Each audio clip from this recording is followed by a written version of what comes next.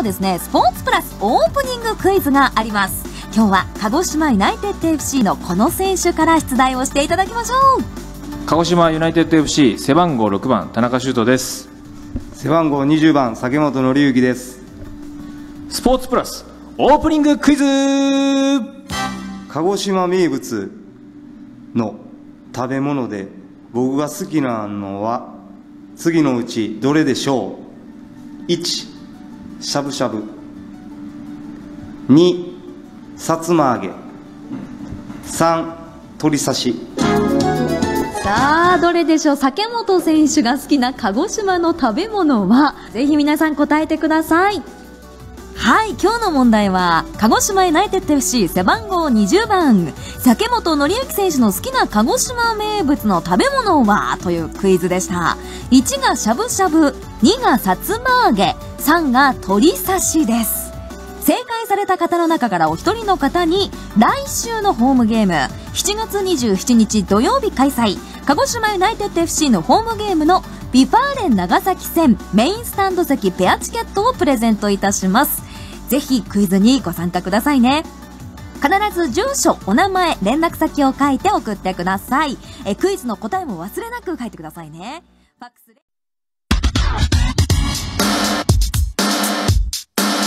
スポーツプラス、スポーツプラス。鹿児島アスリート、鹿児島スポーツ応援スポーツプラス。ユナイテッドサポーター部、頑張れ、鹿児島アスリート。ユナイテッドサポーター部、ユナプラ鹿児島ユナイテッドサポーター部ユナプラのコーナーです。鹿児島ユナイテッド FC スタジアム MC を担当しています、マッキーです。今日もユナイテッドを応援していきましょう。ユナイテッドサポーター部の皆さん、応援部活動、応援メッセージお待ちしております。さて、オープニングクイズをですね、振り返っていきましょうね。今日のクイズは、鹿児島ユナイテッド FC 背番号20番、酒本紀之選手の好きな鹿児島名物は、1、しゃぶしゃぶ、2、さつま揚げ、3、鳥刺しです。さあ、どれでしょうか？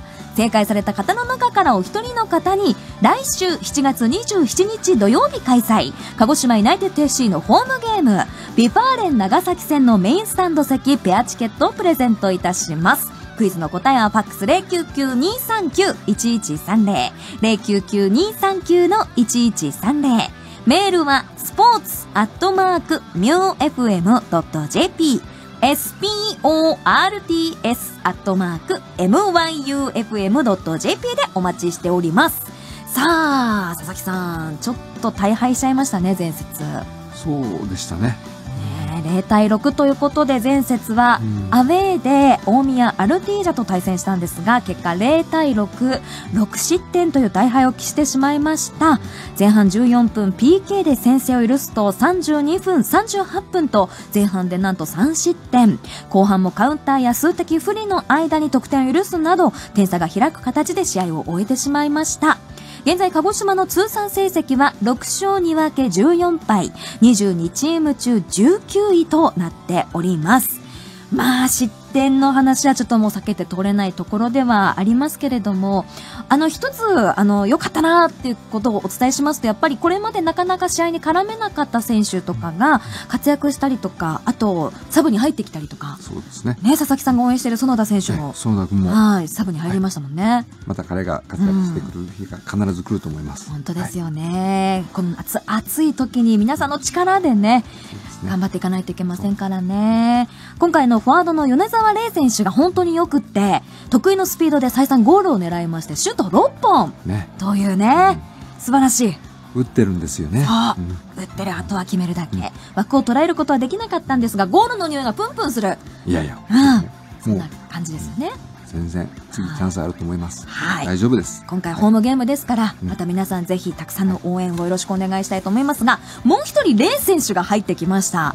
実はこの度ですね、補強という形で、FC 東京の平川レイ選手がですね、育成型期限付き移籍で FC 東京から加入されました。今回のホームゲームから、あのね、登録 OK ということですから、出てほしいなというところです。確か、アンダー20。はい。ですよね。そうなんです。すごい選手のはずですよ。ね、来てくれるなんてね救世主になるかもしれませんねそうですね。起爆剤になってくれるんじゃないかな。期待したいです期ね待ですね。応援していきましょう。さあ、今日はですね、あの、実は今節、今週末、明日行われる試合が FC 岐阜戦ということで、古巣なんですよね。田中修斗選手、そしてベテラン、酒本紀之選手のインタビューをお送りします。それでは、どうぞ。鹿児島ユナイテッド FC サポーター部ユナプラです。今日応援するのはベテランのお二人です。では自己紹介からお願いします。背番号6番田中修斗です背番号20番酒本ですお疲れです。今は疲れてないです疲れたことはないです はい。今日はベテランの田中修斗選手、酒本紀之選手にお話を伺っていきたいと思います。今週もですね、気温と湿度が非常に高い中ですね、ハードなトレーニングを積んでましたね、田中選手。はいそうですね急にこの雨だと思いきや暑くなって、はい非常に大変ですねはいさあ、前節をまず振り返らなければいけません。明治安田生命 J2 リーグ第22節大宮アルディージャ戦ですが、0対6で敗戦となりました。ちょっと点差で見ると差が開いたかなという印象があって、とても悔しい思いかと思いますが、竹本選手、振り返っていかがですか？うーんそうですね、あのー、0対6で負けるっていうのはね、このなかなか まあサッカーやってて、負けたことあるかなっていうぐらいの点差なんで、まあ、ほんまにこう応援してくれる、してくれた人たちにね、こうやっぱ申し訳ないっていうのが一番でね、まあ、その中で、まあ、できたこと、できなかったことっていうのをね、えーまあ、しっかりこう整理して、うーんこんなん0対6なんで。もう考えてもねもう一生悔しいだけなんで、もうほんまありふれたことですけど、まあ、切り替えてやるしかないっていうのと、うんまあ、もう次の試合にどんだけこの悔しい気持ちをぶつけて、はいそれをこうピッチ上で見せれるかっていうのにもかかってくるんちゃうかなっていうふうに思うしだからといってこのね、えー大宮戦、えーもう忘れるだとか。っていうのは、まあ、まあ忘れられへんと思うし、まあ、またねチャンスがあればやり返したいなっていうのは、はいまあ、僕は感じてますけどね。忘れられない試合かと思いますけど今もう本当に次の試合のためにこの暑い中トレーニングしっかり積んでいる選手の皆さんを見ているとよしじゃあ次私たちも頑張らなきゃという気持ちにはなっていると思います。サポーターの皆さんにもねぜひ一緒にまた戦っていただきたいと思いますが田中選手一番何がこう大切というかこの時期思いますか？そうですね。まあやっぱり僕もこう試合を見ててすごいこう胸が苦しくなりましたし、まあ悔しい気持ちはもちろんあるんですけどきっとピッチに立ってる人たちはもっと悔しかったと思うんですよね。なのでまあピッチに立てる人は11人ですけどもこのみんなの悔しい気持ちっていうのをいかに今後につなげていくかっていうのがすごい大事かなと思います、まあ、シャキさんも言ってましたけどこれを忘れるてしまうのはダメですし、でもやっぱ切り替えていかなきゃいけないんですけどやっぱ悔しさをどうぶつけれるかっていうのがすごく重要かなと思いますね。はいまずは次のホームゲームにみんなでぶつけていきましょう。この後ですね、ぶっちゃけ質問ボックスの後、また、えー次節について伺っていきたいと思います。さあ、では、ここで、恒例になりました。ぶっちゃけ質問ボックス行きたいと思います。ちょっと、あの、暑い中ではございますが、じゃあちょっと、田中選手から行きましょう。一つ。ラジオネームリリーさん。今までで俺頑張ったなと思ったことを教えてください。いっはい。いっぱいあるかと思いますぱいあるかなどうだろうな。えもう答えていいですか、はいお願いします。えっと受験勉強です。あれ？サッカー的な話ですかね。サッカーじゃなくて受験勉強でも大学はご自身、あの1年間やったんで、ね頑張ったなは多分その時が一番頑張ったんですよね。あの勉強で入ったんですか筑波大学？1年間サッカーできなかったんで。すごいですよね。は筑波大学に勉強で入ったんですって。い元気で落ちて。すごいですよね。だから本当頑張ったな。サッカーではまだ頑張れてないですね。サッカーの頑張りはその頑張ったじゃないな。楽しいね。ちょっと楽しいからね。そうですよね。それ以外のことは、ああししんどいもんな、はサッカーは普通なんだこれが。頑張ってる自分が。いそうですね。なんか当たり前な感じはしますねなんかオペ後とかは頑張りました。痛みその戦いに。怪我からね今ね復帰のね途中ですからね。もう本当に試合復帰が非常に楽しみだなと思うところです。さあでは酒本選手お願いします。ラジオネーム DH さん。はい。試合のない日は何をしてますか？練習します。え？試合のない日は。か。あオフの日って意味じゃないかな。あオフの日かな、うんオフの日はね休日やったらあの子供らとうん。日曜日とかやったら一緒に遊んだりししますけど結構平日が多い時は何やろな。何してるかな。いやでもイオンとかちゃんと言ってますからイオン行ってるの、お子さんですよああなるほどね。こう考えるとユナイテッドはいいパパさんが多いですねまあ付き合わされてるだけっていう説もありますけどね。まあそうですね。貢献できるところ子供と遊ぶとこなのでやっぱ貢献できるところが、ね。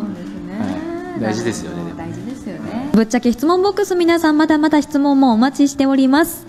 さて次節のお話を伺っていきましょう。今節はですねホームゲームになります。明治安田生命 J2 リーグ第23節 FC 岐阜戦です。7月の20日土曜日明日19時キックオフになります。ではあのーもう FC 岐阜といえば田中選手ですけれども古巣との対戦になりますがどんな思いですか？あのやっぱりこう J2 で鹿児島と岐阜が試合するっていうのは僕個人的にはすごく嬉しいことなので、えまた順位もすごく今近いので、はい。えーすごく大事な一戦ですけども僕はやっぱ個人的にはすごく楽しみな試合ですね。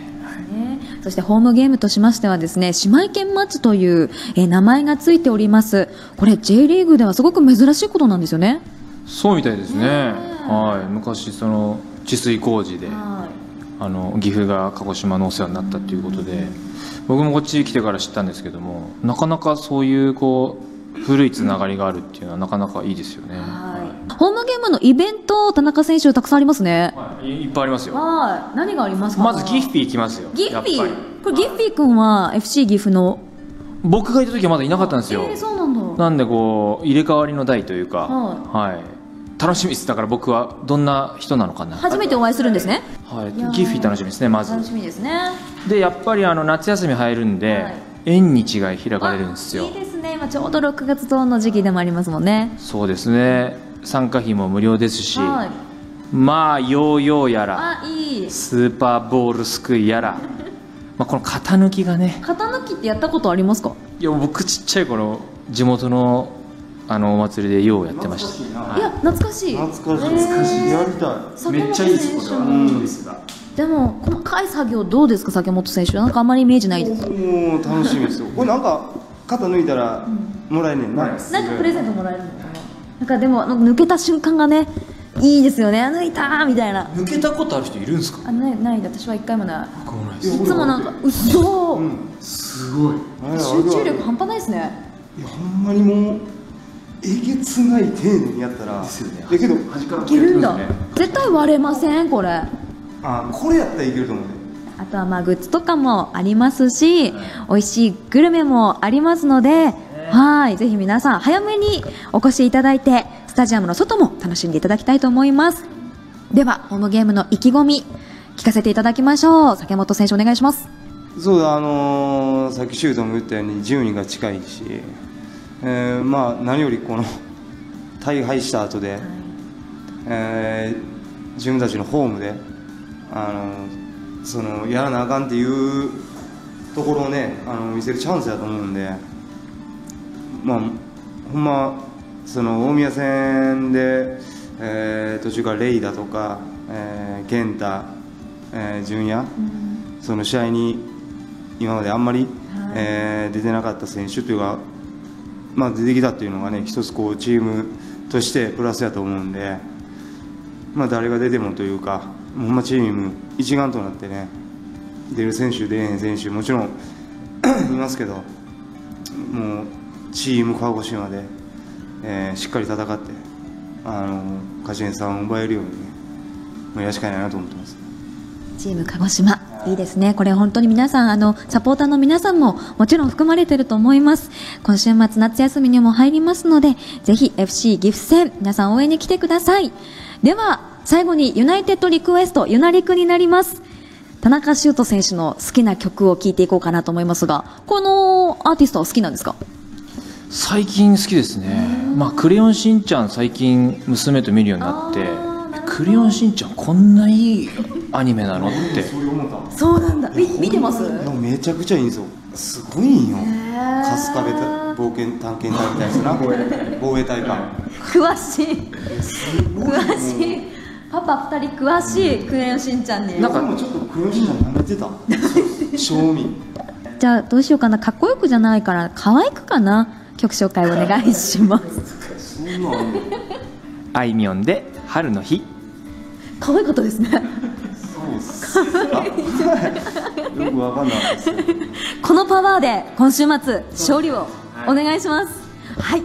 この時間は酒本紀之選手田中修斗選手でした。どうもありがとうございました。